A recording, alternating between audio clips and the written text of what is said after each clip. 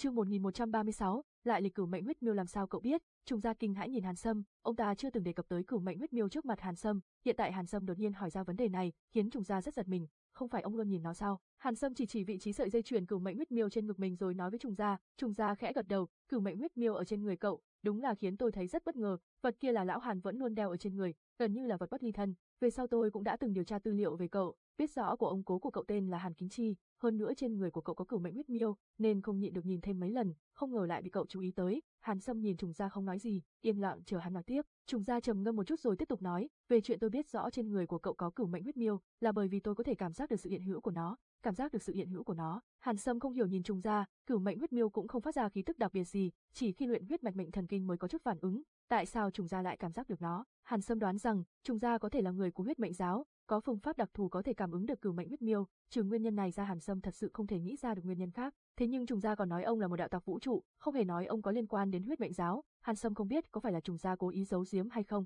Trùng gia chỉ vào ngực Hàn Sâm rồi nói, có thể lấy ra cho tôi xem một chút không? Hàn Sâm thoáng do dự, sau đó vẫn tháo sợi dây chuyền cửu mệnh huyết miêu từ trên cổ xuống. Trùng gia nhận lấy sợi dây chuyền cửu mệnh huyết miêu, ngón tay vuốt ve ở phía trên một hồi, giống như lại lâm vào trong hồi ức. Một lúc lâu mới mở miệng nói, sợi dây truyền cửu mệnh huyết miêu này, năm đó là tôi và lão Hàn cùng phát hiện trong một di tích cổ, là tôi tự tay đưa cho lão Hàn đấy. Hàn Sâm nghe thế thì lộ ra vẻ kinh ngạc, hắn vẫn cho rằng thứ này nếu là thánh vật của huyết mệnh giáo, như vậy hẳn phải do nhân vật quan trọng của huyết mệnh giáo giữ. Hàn Kính Chi phải là thành viên chủ chốt của huyết mệnh giáo, nhưng hiện tại Trùng Gia lại nói thế, hoàn toàn nằm ngoài suy nghĩ của Hàn Sâm. Trùng Gia nhớ lại năm đó, trên mặt lộ ra vẻ hoài niệm và đắc ý, khi đó tôi còn chưa thành danh, y vào một chút tay nghề trộm cắp gia truyền, nên cũng coi như có chút danh tiếng. Lão Hàn tìm được tôi, mời tôi cùng đi thăm dò một di tích, một lần kia cũng thay đổi cuộc đời của tôi, luyện khí thuật mà sau đó tôi tu luyện, chính là tìm được ở di tích kia, sợi dây chuyển cửu mệnh huyết miêu này cũng tìm được ở đó luôn. Nói xong, trùng gia lại cười hắc hắc, thật ra cửu mệnh huyết miêu và luyện khí thuật của tôi ở cùng một chỗ với nhau, lúc ấy chúng tôi tách nhau ra tìm, tôi dựa vào tay nghề gia truyền nên tìm được chỗ kia trước một bước, thấy được luyện khí thuật và cửu mệnh huyết miêu,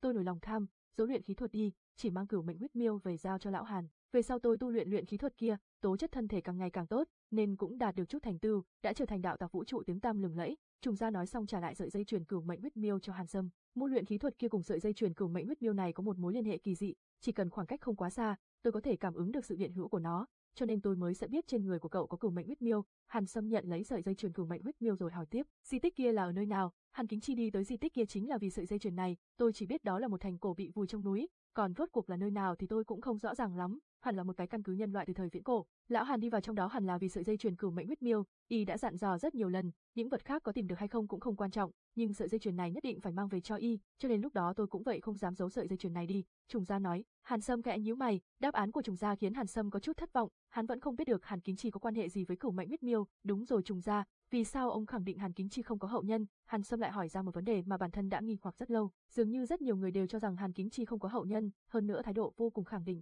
Thời đại này không có khả năng sinh sản chỉ là một loại bệnh không đáng kể chút nào, hoàn toàn có thể thông qua khoa học kỹ thuật để giải quyết, tình huống xấu nhất cũng có thể thông qua kỹ thuật gen tiến hành nhân tạo, rất ít trường hợp thực sự không thể sinh dục, thật sự muốn có con vẫn có rất nhiều biện pháp. Những người này lại khẳng định là Hàn Kính Chi không có khả năng có hậu nhân như vậy, rõ ràng cho thấy trên người Hàn Kính Chi có vấn đề rất lớn. Hàn Sâm muốn biết vấn đề này rốt cuộc là gì, sau đó mới tiện xác định mình rốt cuộc có khả năng là hậu nhân của Hàn Kính Chi hay không. Trùng gia lắc đầu cười khổ nói, nếu như cậu muốn hỏi cậu có phải là hậu nhân của lão Hàn hay không, như vậy tôi có thể khẳng định nói cho cậu biết cậu tuyệt đối không thể nào là hậu nhân của lão Hàn. Vì sao? Hàn Sâm hỏi ngược lại Trùng gia, hắn chỉ tin phán đoán của mình, cho nên hắn cần nguyên nhân, chứ không phải một phán đoán của Trùng gia. Trùng gia do dự một chút mới lên tiếng, đây là một bí mật, không có nhiều người biết lắm, nhưng hiện tại lão Hàn cũng đã mất, nói cho cậu biết cũng không sao cả. Hàn Sâm vô cùng vui vẻ, vội vàng dựng thẳng lỗ tai, hắn thật sự rất muốn biết đáp án của vấn đề này. Trùng gia chỉ vào Hàn Sâm, cậu là một nhân loại thuần chính không sai chứ? Hàn Sâm nghi hoặc gật đầu, tôi đương nhiên là một nhân loại thuần chính. Trùng gia tiếp tục nói, vậy là được rồi, cậu là một nhân loại thuần chính, lão Hàn lại không phải nhân loại, thử hỏi làm sao y có thể có hậu đại là nhân loại như cậu được, không phải là nhân loại, vậy ông ấy là gì? Tu La, Hàn Sâm há to miệng, hắn chưa từng nghĩ đến sẽ là một đáp án như vậy. Hắn nhớ rõ Hàn Kính Chi được xưng là khí công đại sư cuối cùng của nhân loại, hoặc là huấn luyện viên của bộ đội đặc trùng Lam huyết, nếu như y là một tu la, làm sao y có thể làm huấn luyện viên trong bộ đội đặc trùng Lam huyết tinh nhuệ nhất của nhân loại? Hàn Sâm nhìn chằm chằm vào trùng gia, muốn biết được đáp án từ trùng gia, thế nhưng trùng gia lại lắc đầu, tôi cũng không biết y là chủng tộc gì, nhưng có thể khẳng định lão Hàn không phải nhân loại, đây là chính miệng y nói cho tôi biết, dù sao cũng nên có dấu hiệu gì đó đặc thù chứ, ví dụ như sừng tu la hay gì đó. Trùng gia đưa ra đáp án như vậy rất khó khiến Hàn Sâm tin phục, nếu như nói dấu hiệu đặc thù, bề ngoài của lão Hàn đúng là không khác gì nhân loại, nhưng máu của y không phải màu đỏ, là màu gần với màu xanh da trời, trùng gia nghĩ nghĩ nói ra, dòng máu màu xanh lam, bộ đội đặc trùng lam huyết, đây chỉ là trùng hợp sao? Hàn Sâm nhíu mày trầm tư, trùng gia thấy Hàn Sâm đang suy nghĩ liền lấy ra một cuộn da giao cho Hàn Sâm, đây là luyện khí thuật mà tôi lấy được ở trong di tích, hiện tại đối với tôi đã không còn tác dụng gì nữa, nếu như cậu có hứng thú thì cầm xem một chút đi. Hàn Sâm vội vàng nhận lấy cuộn ra, sau khi cảm ơn trùng gia, lại trò chuyện thêm với trùng gia một lúc nữa, nhưng lại không thu hoạch được gì. Chương 1137, Mệnh môn trở lại phòng của mình, Hàn Sâm mở cuộn da kia ra xem kỹ một lần,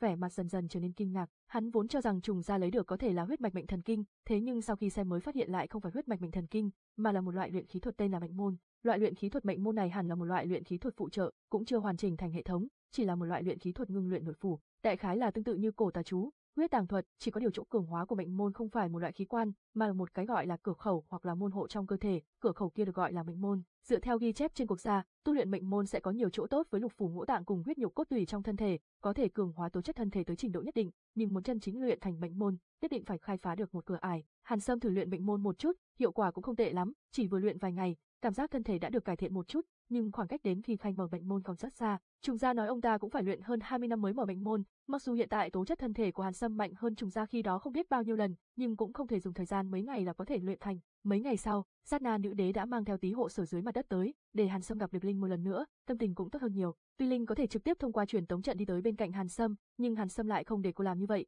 chủ yếu vẫn là vì cần Linh ở lại trong tí hộ sở giúp hắn chăm sóc cho vì Thăng cô. Thời gian trôi qua lâu như vậy, vì Thăng cô đã sớm thành thục, Hàn Sâm vội vã trở lại tí hộ sở dưới mặt đất như vậy, chủ yếu cũng là vì cây phi tham cô kia. Đây chính là bảo bối có thể giúp dị linh bình thường tiến hóa thành đế linh, nếu vì già quá mà mất đi tác dụng, Hàn Sâm có muốn khóc cũng không kịp. Sau khi Hàn Sâm trở lại tí hộ sở dưới mặt đất, nhìn xem mình có mấy dị linh ở không gian thứ ba tí hộ sở, cuối cùng vẫn gọi kinh cức bá tước ra, cho cô đấy. Hàn Sâm chỉ vào đã vì thang cô thành thục rồi nói với kinh cức bá tước, vẻ mặt kinh cức bá tước vừa sợ hãi vừa vui mừng, cô không dám tin tưởng nhìn Hàn Sâm hỏi, cậu thật sự muốn đưa phi thăng cô cho tôi sử dụng, tôi nghĩ rằng cô là chọn lựa thích hợp nhất, Hàn Sâm lạnh nhạt nói, trong lòng Hàn Sâm đúng là muốn như vậy, trong thân thể kinh cước bá tước vốn là có huyết mạch đế linh, là hậu đại của đế linh, cô sử dụng phi thăng cô thì cơ hội thành công tự nhiên sẽ cao hơn một chút. Vẻ mặt kinh cước bá tước khác thường liếc nhìn Hàn Sâm, sau đó mới cắn răng nhận lấy phi thăng cô, trực tiếp ăn luôn phi thăng cô. Phi thăng cô vừa vào miệng kinh cức bá tước đã trực tiếp hóa thành huyết thanh chảy vào trong bụng cô, trên người kinh cức bá tước lập tức tỏa ra vầng sáng linh hồn, khiến sắc mặt cô không ngừng biến đổi, nhanh chóng nói với Hàn Sâm, mau thu tôi vào hồn hải, tôi sắp bắt đầu tiến hóa rồi. Hàn Sâm vội vàng thu kinh cức bá tước vào hồn hải,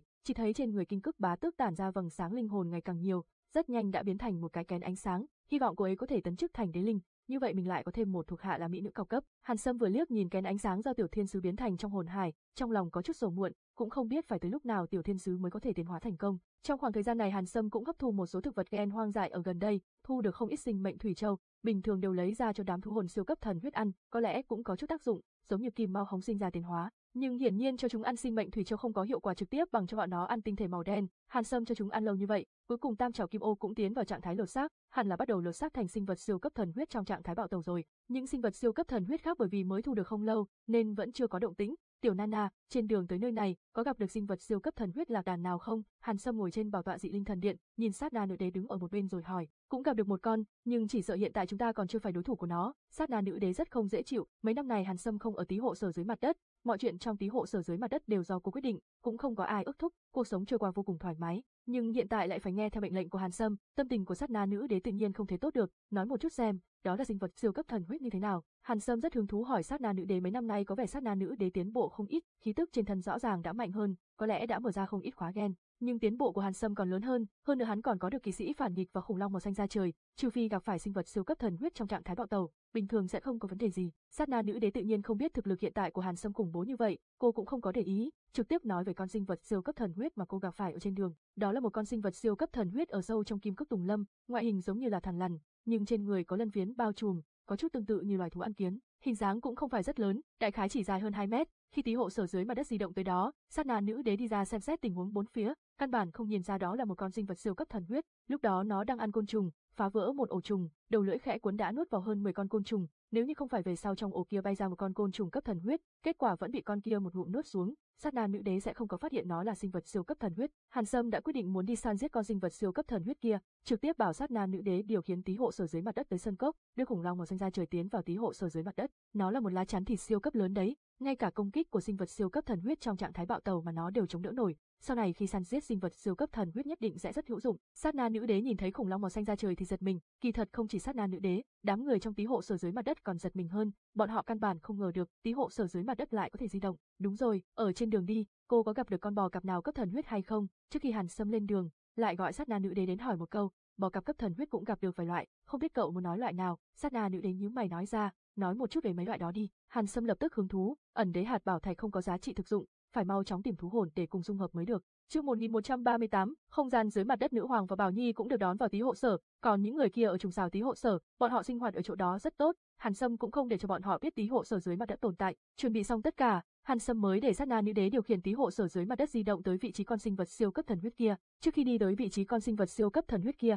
có đi qua hai nơi có sinh vật thần huyết loại bò cạp, Hàn Sâm chuẩn bị tiện đường giải quyết bọn nó, xem có thể tu được một thú hồn thần huyết loại bò cạp hay không, hy vọng có thể dung hợp với thú hồn bảo thạch ẩn đế hạt. Mỗi ngày tí hộ sở chỉ có thể di động một lần, đến lần thứ ba di động, đi tới một sơn cốc âm u khắp trốn ở sâu trong kim cước tùng lâm, ở đây thành công thấy được một đàn bò cạp đang bò qua bò lại, trong đó cũng có cấp thần huyết. Hàn Sâm để tí hộ sở tạm thời dừng ở đây, gọi đám người hoàng lão cùng đi săn bắn, nữ hoàng cũng đi theo. Đám bò cạp kia là một loại bò cạp màu xanh lớn cỡ chó săn, tên là âm độc hạt, trong động đá vôi có rất nhiều, phần lớn đều là cấp nguyên thủy, ngẫu nhiên có thể thấy được cấp biến dị, sát na nữ đế đoán đầu đàn của bọn nó hẳn là cấp thần huyết. Đám người hoàng lão cùng nhau săn giết được không ít âm độc hạt cấp nguyên thủy và biến dị, bổ sung lượng thịt dị sinh vật dự trữ, chỉ là mãi vẫn không thấy âm độc hạt cấp thần huyết xuất hiện. Hàn Sâm cũng lười giết âm độc hạt bình thường, cùng nữ hoàng tìm kiếm trong động đá vôi, xem có thể tìm được hạt vương hay không. Nữ hoàng thật sự quá liều mạng, hiện tại cô cũng chỉ có thần gen và siêu cấp thần gen chưa đầy, ba loại gen khác trên cơ bản đều đã đầy. Ngoại trừ thực lực bản thân của nữ hoàng và cô cũng dốc sức liều mạng, những thú hồn mà Hàn Sâm truyền cho cô cũng có tác dụng mang tính chất quyết định, nếu không nữ hoàng cũng không thể phát triển nhanh như vậy. Hang đá vôi rộng lớn vô cùng,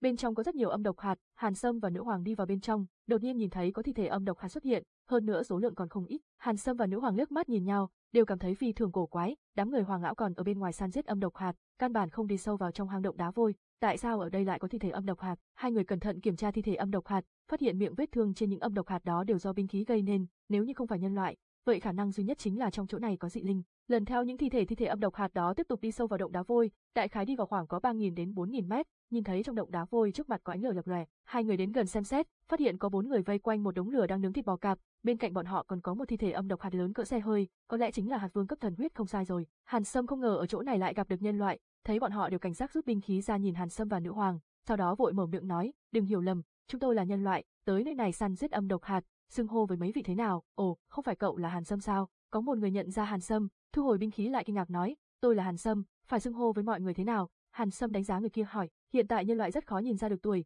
mấy người này thoạt nhìn đều chỉ mới ba bốn mươi tuổi, hắn tử nhận ra Hàn Sâm kia cắt đầu húi cua, cơ bắp toàn thân cứng như sắt thép, trên lưng còn đeo một thanh thương thép, tôi là Lưu Vân Huy, công tác ở tập đoàn Tinh Vũ. Người đàn ông kia giới thiệu mình và ba người khác, ba người kia nghe vậy cũng đều thu binh khí lại, tuy bọn họ chưa từng gặp qua Hàn Sâm, nhưng bọn họ đều biết đến cái tên Hàn Sâm này, trong đó có một người tên là Vũ Điền có vẻ ngạc nhiên đánh giá Hàn Sâm, thân thể của câu không phải đã xảy ra vấn đề sao, tại sao lại dám vào kim cức tùng lâm, có rất nhiều người biết được chuyện thân thể Hàn Sâm bị thương, bọn họ biết cũng không kỳ quái, Hàn Sâm cười một cái nói, đây không phải là tôi đang tranh thủ khôi phục sao, hơn nữa bên cạnh tôi còn có cao thủ bảo hộ, giết mấy con âm độc hạt cũng không phải vấn đề, đúng rồi, ở gần đây có tí hộ sở của nhân loại không, mấy người Lưu Vân Huy lướt mắt nhìn nhau, Vũ Điền mở miệng nói, thực không dám giấu giếm, ở đây không có tí hộ sở nhân loại, hiện tại chúng tôi ở một tí hộ sở của dị linh, nhưng vẫn sống được, bình thường cũng có thể truyền tống về liên minh. Hàn Sâm hỏi bọn họ một số tình huống, thế mới biết hang động đá vôi này thông với một tí hộ sở hoàng tộc dị linh, lần này bọn họ kết bạn đi ra săn giết dị sinh vật, vừa vặn đụng phải Hạc Vương, cuối cùng phí không ít công phu mới giết được Hạc Vương, khiến Hàn Sâm hứng thú là đám người Lưu Vân Huy nói cho Hàn Sâm biết,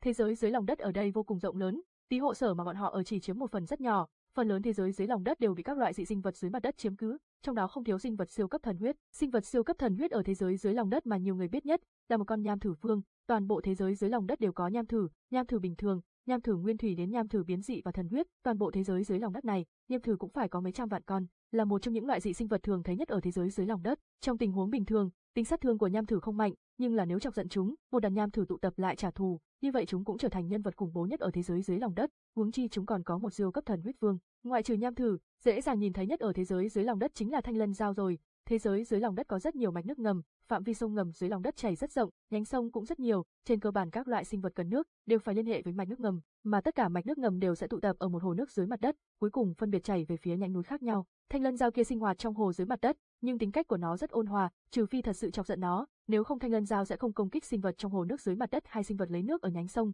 dù là nhân loại cũng không ngoại lệ. Mấy người Lưu Vân Huy khi lấy nước đều đã từng gặp thanh lân dao nổi lên mặt nước, bơi trên mặt hồ cùng dòng sông, còn có một số dị sinh vật kinh khủng, bọn họ cũng chưa từng thấy tận mắt, chỉ là nghe dị linh nói qua, nhưng cũng chỉ là nghe nói, cũng không biết có thật sự tồn tại hay không. Khiến Hàn Sâm hưng phấn nhất là đám người Vũ Điền nói thế giới dưới lòng đất có một cây gen to lớn, chống đỡ không gian thế giới dưới lòng đất. Theo lời đám dị linh ở tí hộ sở dị linh kia từng nói, đó là một cây siêu cấp thực vật gen, nếu như trái cây của nó thành thục, nhất định là gen trí bảo, mà trước đây không lâu, cây gen kia đã tán ra mùi thơm kỳ dị, dụ dỗ rất nhiều dị sinh vật dưới mặt đất tiến về dưới cây, rất có thể là trái cây đã sắp chín rồi. Nếu như không phải bởi vì đại bộ phận dị sinh vật cường đại đều đi đến cây gen kia, bọn họ cũng sẽ không chạy đến địa phương xa như vậy để săn bắn, cũng sẽ không gặp gỡ Hàn Sâm và Nữ Hoàng. Chương 1139, Địa mẫu thụ Lưu đại ca, có thể mang bọn tôi đi xem cây gen kia hay không? Sau khi Hàn Sâm nghe được tin này, trong lòng lập tức nổi lên tham niệm, nếu đã gặp được thời cơ gen trí bảo xuất thế, không đi xem một lần đúng là sẽ có lỗi với bản thân, không được đâu, hiện nay ở đó có rất nhiều dị sinh vật kinh khủng tề tụ, trái cây gen dù tốt, cũng không quan trọng bằng mạng nhỏ. Lưu Vân Huy vội vàng khuyên nhủ, dù Hàn Sâm nói như thế nào, đám người Lưu Vân Huy cũng không chịu mang Hàn Sâm qua,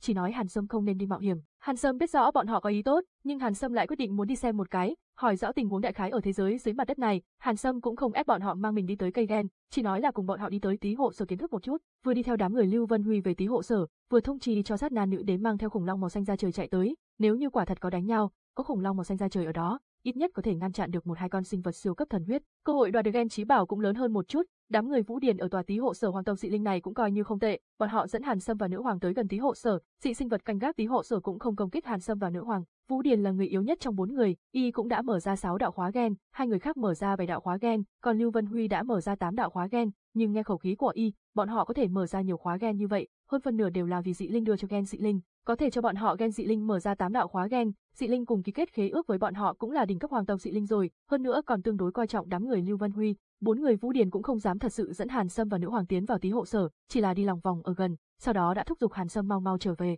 để tránh bị dị linh kia thấy được. Hàn Sâm vốn muốn giúp bọn hắn đánh hạ tòa tí hộ sở này, nhưng ngẫm lại vẫn thôi, đi tới cây gen bên kia nhìn một cái trước, để tránh bỏ lỡ thời gian trái cây chín. Nhìn theo bóng lưng Hàn Sâm đi xa, Vũ Điền nói với ba người Lưu Vân Huy, tôi thấy hai người bọn họ sẽ không nghe lời trở về, tám chín phần mười sẽ đi tới chỗ cây gen kia. Ba người khác tự nhiên cũng nhìn ra tâm tư Hàn Sâm, Lưu Vân Huy cười khổ nói, nên nói chúng ta đều đã nói, nên khuyên cũng đều khuyên, bọn họ cố ý muốn mạo hiểm, sau này cho dù xảy ra chuyện cũng không trách được chúng ta, chỉ đáng tiếc cho em gái kia, thật sự quá xinh đẹp, Vũ Điền có chút tiếc hận nói. Hàn Sâm và nữ hoàng đi về phía lối ra hang động đá vôi không được mấy dặm đường, đã thấy sát na nữ đế mang theo khủng long màu xanh ra trời chạy như điên tới, trên đường đi khủng long màu xanh ra trời đã nuốt không ít âm độc hạt, nhìn có vẻ hết sức hưng phấn, cấp gáp như vậy bảo tôi dẫn nó tới nơi này làm gì? Sát na nữ đế đánh giá bốn phía, còn dùng mũi người người, sắc mặt cổ quái hỏi. Hàn Sâm tự nhiên cũng sớm ngửi được trong động đá vôi có một mùi thơm như có như không, tuy mùi thơm không nồng, nhưng chỉ người thoáng qua đã khiến tinh thần phấn chấn, thể xác và tinh thần đều nhẹ nhàng khoan khoái. Sau khi đi tới gần tí hộ sở, hắn cũng đã ngửi được mùi thơm này, chỉ cần tìm được nơi mùi thơm phát ra có lẽ sẽ tìm được cây gen kia, cho nên cũng không có quá cần đám người Lưu Vân Huy dẫn đường. Nhưng nhìn bộ dáng của sát na nữ đế, có vẻ cô biết rõ nơi phát ra mùi thơm này là đâu, hơn nữa địa vị nhất định không nhỏ, nếu không với tâm tính của cô ta, không thể nào lộ ra vẻ mặt khác thường như thế được. Xem ra cô biết đó là cái gì, nói nghe một chút đi. Hàn Sâm hứng thú nhìn sát na nữ đế, hắn cũng không muốn quanh co lòng vòng với sát na nữ đế, nếu sát na nữ đế không thành thật, Hàn Sâm có rất nhiều biện pháp trừng trị cô ta. Sát na nữ đế biết vẻ mặt mình đã bán đứng mình, thật sự là khi cô ngửi được mùi thơm này đã quá khiếp sợ, cho nên mới không thể khống chế được vẻ mặt của mình, lộ ra vẻ khác lạ. Hiện tại nói không biết thì không được rồi, thoáng giao dự một chút, sát na nữ đế mới mở miệng nói, tôi cũng chỉ suy đoán, hương thơm này rất giống mùi thơm từ một loại cây gen mà trước kia tôi đã gặp, nhưng tôi không thể khẳng định chính là một loại cây gen, cũng có khả năng là tôi đã đoán sai, chỉ là mùi thơm tương tự mà thôi. Cô sẽ không sai, Hàn Sâm bình tĩnh nói một câu, trong lòng sát na nữ đế thầm hận, câu này của Hàn Sâm rõ ràng là đang cảnh cáo cô, nếu như cô dám nói hưu nói vượn, trở về khẳng định sẽ trừng trị cô, trong lòng hận không thể chém Hàn Sâm thành tám khối, nhưng lại không thể không nói. Trước kia chính tôi đã nhìn thấy một địa mẫu thụ trong vườn cây của một vị đại đế, mùi thơm của cây đó giống hệt mùi này, nhưng tôi cũng không thể khẳng định ở đây có địa mẫu thụ, vì sao không có thể xác định? Hàn Sâm hỏi, sát na nữ đế lại người hai hơi rồi nói, lúc trước khi tôi nhìn thấy địa mẫu thụ kia mới chỉ ba vạn năm, còn chưa tới kỳ kết quả, mùi thơm tản ra rất nhạt, so với mùi hương ở đây thì nhạt hơn nhiều lắm, cho nên tôi cũng không dám khẳng định ở đây có phải là địa mẫu thụ không, địa mẫu thụ là một loại thực vật gen như thế nào, nó có thể kết ra trái cây gì, Hàn Sâm tiếp tục hỏi, tôi cũng không biết, trước đó tôi căn bản không biết có địa mẫu thụ, lần đó cũng là lần đầu tiên nhìn thấy, hơn nữa vị đại đế kia cũng không nói địa mẫu thụ có thể kết ra trái cây gì, chỉ nói địa mẫu thụ là cây gen đại đế vô cùng hiếm thấy, nếu như có thể kết ra trái, tác dụng sẽ mạnh hơn bất cứ sinh vật nào. Sát đan nữ đế ngoài miệng nói như vậy, nhưng trong lòng lại hoàn toàn không phải nghĩ như vậy, lúc trước nàng đúng là nhìn thấy địa mẫu thụ trong vườn của vị đại đế đó, hơn nữa địa mẫu thụ kia đúng là còn chưa trưởng thành đến kỳ kết quả, nhưng vị đại đế kia có nói cho cô biết, địa mẫu thụ sẽ kết ra trái cây như thế nào, hơn nữa sát na nữ đế cũng khẳng định mùi thơm này nhất định là địa mẫu thụ phát ra, cho nên vừa rồi mới khiếp sợ như vậy. Nếu như vị đại đế kia không nói sai, trái cây của địa mẫu thụ chỉ sợ ngay cả đại đế cũng thèm nhỏ nước dãi, vị đại đế kia cũng phải dốc hết tài nguyên trên tay, hơn nữa còn là gặp được cơ duyên mới có thể trồng ra một cây như vậy. Hàn Sâm biết sát na nữ đế không nói hết, nhưng cũng không hỏi lại, trực tiếp quát tay, thu sát na nữ đế vào hồn hải, dù sát na nữ đế có tính toán gì, cô ta ở trong hồn hải cũng chỉ có thể dương mắt nhìn, cuối cùng cũng không làm được gì. Khi bị thu vào hồn hải, sát na nữ đế hận không thể làm thịt Hàn Sâm rồi, cô ta còn đang tính toán kiếm chút chỗ tốt trên địa mẫu thụ, không ngờ Hàn Sâm không nói một lời đã thu cô ta vào hồn hải, cho dù cô ta tính toán thế nào cũng vô dụng. Hàn Sâm cũng không để ý sát na nữ đế phiền muộn như thế nào, cùng nữ hoàng cưỡi khủng long màu xanh ra trời, đi sâu vào trong hang động tìm kiếm nơi phát ra mùi hương kia. Khủng long màu xanh ra trời có vẻ cũng rất thích mùi thơm này, căn bản không cần Hàn Sâm chỉ huy, ngay lập tức đi sâu vào trong hang động, tiến về phía mùi hương phát ra. Chương 1140, trái cây kinh người lúc mới bắt đầu còn vô cùng thuận lợi, dị sinh vật bình thường căn bản không dám tới gần khủng long màu xanh ra trời, hơn nữa Hàn Sâm có thể che đậy thất cảm, nên cũng không gặp phải phiền toái gì. Thế nhưng không lâu sau, khủng long màu xanh ra trời muốn tiến lên cũng có chút vấn đề, khi hương khí càng ngày càng nồng, bốn phía hang động đều có rất nhiều nham thử màu xám lao tới, giống như là thủy triều cuốn tới nơi phát ra hương khí. Khủng long màu xanh ra trời muốn một chỗ đặt chân cũng không có, một cước đạp xuống đã giết chết khá khá nham thử, nham thử kia cũng không quá lớn, cũng lớn hơn con chuột thông thường một chút, toàn thân màu xám cho như dùng nham thạch đúc thành. Lúc này đàn chuột cũng không để ý tới khủng long màu xanh da trời, tranh nhau chạy tới nơi phát ra hương khí, ngay cả chuyện rất nhiều đồng loại bị khủng long màu xanh da trời giết chết cũng không để ý tới. Khủng long màu xanh da trời đi theo thử chiều, giết chết không biết bao nhiêu nham thử, hang động đá vôi trước mắt cũng càng ngày càng rộng, đến tận khi trước mặt đã không có đường, Hàn Sâm mới phát hiện hang động đá vôi lúc trước mình đi kia chỉ là một chi nhánh nhỏ của không gian khổng lồ mà thôi. Không gian dưới mặt đất này vô cùng rộng lớn, đám người Hàn Sâm đứng chỉ là một hang động ở giữa vách đá, không gian dưới mặt đất thoạt nhìn rộng lớn vô biên, rất nhiều nơi đều có sông ngầm từ trên thạch bích bốn phía chảy xuống, tạo thành từng thác nước cao vài trăm mét. Cuối cùng ở giữa không gian rộng lớn dưới mặt đất này tạo thành một hồ nước lớn, hồ lớn tới mức gần như không nhìn thấy bờ, mà ở bên bờ hồ lại mọc ra một cây cổ thụ che trời, cổ thụ kia hùng vĩ khó tin, giống như cây chống trời vậy, chống đỡ cả không gian rộng lớn dưới mặt đất này. Rễ cây giống như một đầu dao long kéo dài, tán cây lại nối liền với vách đá phía trên, những nhánh cây kia giống như rễ cây cắm vào trong vách đá, chống đỡ lấy vách đá bên trên. Cả thân đại thụ đều là màu hắc hoàng, cũng chẳng có gì đặc biệt, ngay cả lá cây cũng cực kỳ bình thường, chỉ là loại màu vàng rậm không nổi bật. Thế nhưng cây kia lại tàn ra mùi thơm và sinh cơ khủng bố khiến Hàn Sâm cảm giác được rõ ràng chỗ bất phàm của nó, càng khiến Hàn Sâm cất sợ là trên cành cây kia kết ra rất nhiều trái cây, chỉ là những trái cây kia lại hoàn toàn vượt ra khỏi tưởng tượng của Hàn Sâm. Hàn Sâm thấy không ít thực vật gen, như cây gen kỵ sĩ có thể sinh ra một kỵ sĩ phản nghịch kia, cho dù bên trên cổ thụ to lớn sinh ra mấy thiên sứ hoặc là ác ma gì đó, Hàn Sâm cũng sẽ không cảm thấy kinh ngạc. Thế nhưng trái cây trên cây đại thụ này lại khiến Hàn Sâm không thể tưởng tượng nổi, hoàn toàn vượt ra khỏi tưởng tượng của hắn, hai mắt không khỏi nhìn chằm chằm vào những trái cây đó. Bên trên cổ thụ kết ra trái cây, lại là một con sứa, hơn nữa những con sứa kia còn sống, cả một đám đều phát sáng trong suốt, giống như bóng đèn vậy, tản ra ánh sáng kỳ dị thánh khiết. Dâu chân của bọn chúng còn đang không ngừng múa, giống như muốn từ trên nhánh cây nhảy xuống, hoặc là trực tiếp lơ lửng bay lên không trung. Trên đại thụ kia, những trái cây hình con sứa kia ít nhất cũng có hàng vạn quả, số lượng như vậy thực quá kinh người, nếu như mỗi một trái đều có lực lượng siêu cấp thần gen, vậy cây cổ thụ này quá kinh khủng rồi, không biết những trái cây hình sứa này rốt cuộc có tác dụng gì. Hàn Sâm phục hồi tinh thần lại, ánh mắt dò xét xung quanh, nữ hoàng hiển nhiên cũng bị đại thụ đầy trái cây hình con sứa này làm cho khiếp sợ, cô vẫn đang nhìn chằm chằm vào những trái cây đó. Khủng long màu xanh da trời đã chảy đầy nước miếng, chân sau nhún một bước muốn nhảy xuống không gian dưới đất, chạy tới đại thụ kia, nham thử giống như thủy triều cũng vọt xuống dưới, điên cuồng lao tới đại thụ. Trong không gian rộng lớn dưới mặt đất đều là bóng dáng nham thử, chúng như là như thủy triều chiếm cứ hơn 10 dặm quanh đại thụ, bên cạnh đại thụ kia còn có một khối đá, trên đó có một con nham thử, chỉ là hình thể lớn hơn, lúc này đôi mắt chuột cũng đang nhìn chằm chằm vào trái cây sứa. Ngoại trừ nham thử, dưới hồ lớn kia lại không có nham thử nào có can đảm tới gần. Hàn Sâm lờ mờ nhìn thấy trong hồ nước tựa hồ có một bóng đen khổng lồ đang ngủ đông, cho dù ở trên đất, cũng có một số khu vực mà nham thử không dám đến gần. Trong đó liếc mắt là có thể nhìn thấy có hai khu vực, một nơi là sườn đông của đại thụ, nơi đó có một mảnh đỏ rực như lửa, cẩn thận nhìn, chính là một đám cốc lớn huyết sắc. Lúc này cả đám đều ngước mắt lên xem, giống như đang chờ những trái cây như con sứa kia rớt xuống. Trong đàn huyết thiềm thử kia có một con thiềm thử màu đỏ sậm to như tê giác, khí tức trên người tản ra cực kỳ nguy hiểm, nhìn liền biết là siêu cấp thần huyết, mà ở phía tây đại thụ lại là một mảnh màu đen bóng bắt đầu động, là một đám côn trùng không biết tên màu đen. Đám côn trùng trông vô cùng lạ, nhìn giống như con dế mèn lớn chừng quả đấm, hai râu dài trên đầu thập phần cứng cỏi, giống như hai cây châm, toàn thân côn trùng đen kịt, nhưng hai mắt lại đỏ lòm, không ngừng kêu vang, tiếng kêu vô cùng chói tai. Phía trước đàn côn trùng kia có một con dế mèn đầu đỏ thân đen rất lớn, còn lớn hơn một con mèo lớn rất nhiều, nhưng nó chỉ lặng yên ngồi xổm ở đó, không hề giống đám dế mèn thông thường kêu loạn, lại một con sinh vật siêu cấp thần huyết, Hàn Sâm thầm nghĩ trong lòng. Ngoại trừ những con sinh vật siêu cấp thần huyết có thể nhìn thấy, Hàn Sâm còn cảm thấy vài luồng khí tức đáng sợ ẩn trong bóng tối, hiển nhiên là đang dòm ngó trái cây trên địa mẫu thụ, nếu trái cây thực sự chín, đến lúc đó tham dự cướp đoạt tuyệt đối không chỉ là mấy con sinh vật siêu cấp thần huyết. Hàn Sâm không dám để khủng long màu xanh ra trời thật sự tới gần địa mẫu thụ, ngăn nó lại đứng từ xa, khủng long màu xanh ra trời giống như cũng biết lợi hại, cũng không dám xông thẳng tới địa mẫu thụ. Số lượng nham thử thật sự quá nhiều, còn có rất nhiều nham thử đang vọt tới bên này, luồn qua khủng long màu xanh ra trời. Lúc này chúng không hề sợ khí tức phát ra từ khủng long màu xanh ra trời, căn bản không thèm trốn tránh. Không chỉ là nham thử, những dị sinh vật khác cũng như thế. Lúc này không có dị sinh vật nào muốn khai chiến, đều nhìn chằm chằm những trái cây hình sứa trên cây, không thèm quan tâm tới những chuyện khác. Lực hấp dẫn của những trái cây hình sứa đó đối với chúng đã vượt qua tất cả, khiến chúng nó căn bản không có tâm tư giết chóc, nhưng vô luận là dị sinh vật nào, hiện tại đều không dám tới gần địa mẫu thụ, giống như là có chỗ cố kỵ. Hiện tại đã tới rất gần địa mẫu thụ, Hàn Sâm lại quan sát tỉ mỉ địa mẫu thụ, lúc này càng thấy rõ, những trái cây kia trong suốt như quả đông lạnh,